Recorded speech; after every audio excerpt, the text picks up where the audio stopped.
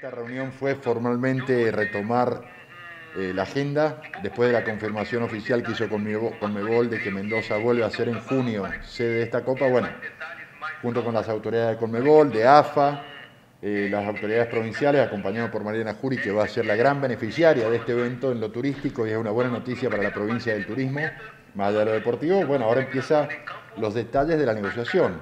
Escucharon ustedes que hay un, gran apuro por firmar el contrato. Ese contrato incluye cuál es el compromiso, ni más ni menos que del gobierno de Mendoza, del gobierno nacional, estaba Matías Lamens también, y de, por supuesto con Mebol. Claro, vamos a intentar, por supuesto, tener una ayuda, va a haber una inversión provincial. Al barajar de nuevo en esta pandemia tenemos que ser eh, realistas y no tirar un número al voleo. Hay que ver qué podemos hacer. Va a haber una inversión provincial, pero justamente empiezan las negociaciones para los contratos en que cada una de las partes vamos a ver qué pone para llegar a condiciones óptimas para la Copa América. La conectividad es un tema clave, un tema clave que vos habrás escuchado y lo va, a insistir con Mebol siempre.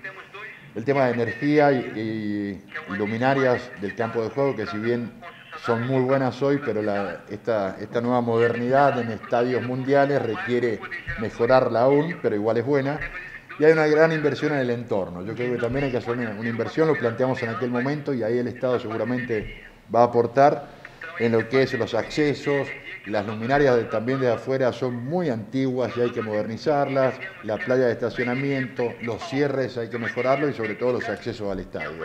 Parece poco, el estadio está muy bien, hemos tenido eventos últimamente que han sido muy lindos, lo hemos disfrutado, pero podemos aprovechar esta Copa América para ponerlo en las mejores condiciones e ítems que, los eventos mundiales requieren.